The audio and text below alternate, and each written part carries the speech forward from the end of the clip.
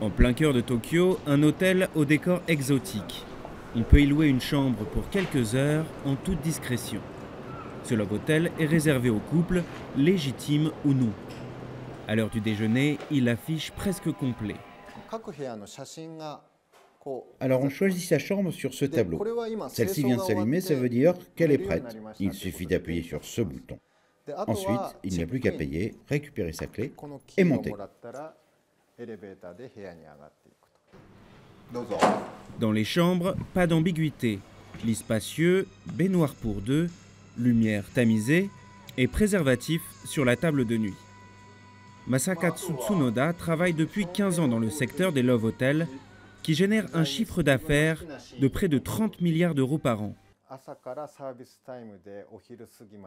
L'idéal, c'est quand une chambre accueille quatre couples en 24 heures. Un le matin, un l'après-midi, un troisième jusqu'à minuit et un quatrième pour la nuit. Du sadomasochisme au romantisme le plus kitsch, il existe entre 20 000 et 30 000 love hotels au Japon.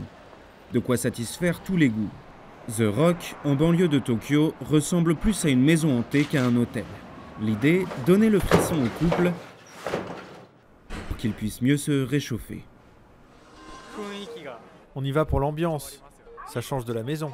Les origines de ces établissements remontent à plus d'un siècle, mais ils se sont multipliés après la guerre. À l'époque, ils répondaient à un vrai besoin, dans une société où plusieurs générations vivaient sous le même toit, voire dans la même pièce. Aujourd'hui, il reste pour beaucoup un espace d'intimité salutaire dans une capitale au rythme effréné. On travaille tous les deux et on n'a pas beaucoup de temps. Et on habite loin l'un de l'autre. Alors quand on sort le soir, c'est agréable de pouvoir se retrouver dans une belle chambre d'hôtel tout près.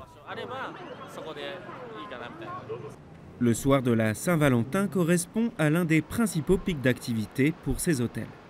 Mais attention, il vaut mieux se lever tôt pour avoir une chambre libre, car ces établissements discrets n'acceptent pas les réservations.